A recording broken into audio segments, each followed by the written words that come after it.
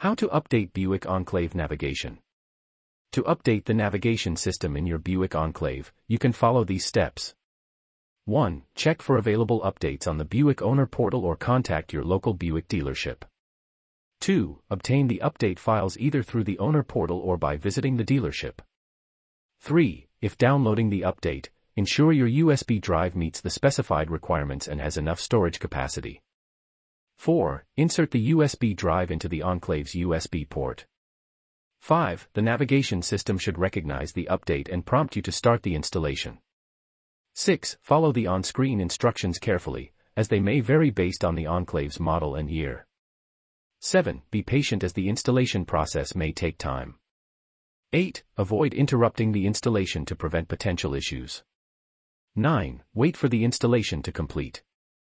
10. Verify that the navigation system is functioning properly. 11. Check for any new features, updated maps, or improved functionality. 12. Take a test drive or explore the system to ensure it's working as expected. 13. Regularly check for future updates to keep your Buick Enclave's navigation system up to date. If you encounter any issues or have difficulty with the update process, contact support for assistance. Link in description box.